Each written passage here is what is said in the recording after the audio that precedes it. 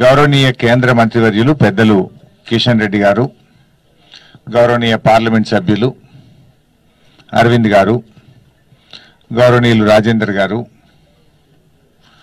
హుజురాబాద్ నియోజకవర్గ పర్యటనలో పచ్చి అబద్ధాలు మాట్లాడుతూ అబద్ధాల పునాదుల మీద ప్రజలను మభ్యపెట్టి నాలుగు ఓట్లు సంపాదించాలనే ప్రయత్నం చేస్తా ఉన్నారు.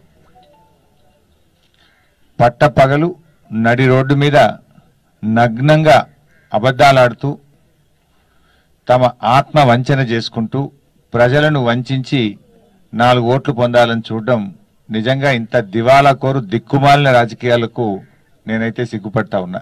స్పీచ్లు ఇచ్చుడు.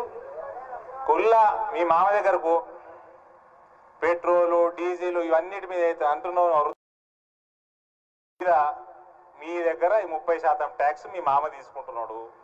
నువ్వు ఆర్థిక మంత్రి నువ్వు తీసుకుంటున్నావు. అందులోకెళ్ళి పది శాతం తక్కువ చేయి. తక్కువ చేసి నరేంద్ర మోడీ గారికి లేఖ రాయి. నేను సంతకం పెడతా రాజేంద్ర తోటి పెట్టిస్తా బండి సంజయ్ తోటి పెట్టిస్తా అందరితో పెట్టిస్తా. ఫస్ట్ నువ్వు పది శాతం తక్కువ ఊరికి ఎందుకు లొలి ఎలక్షన్ రా ఉంటుండే. వాళ్ళ ఇంట్లో ఎవరైనా గింతో గంతో ముఖం చూడబుద్ధి అయితే అంటే గిన్నెదే ఉంటుండే.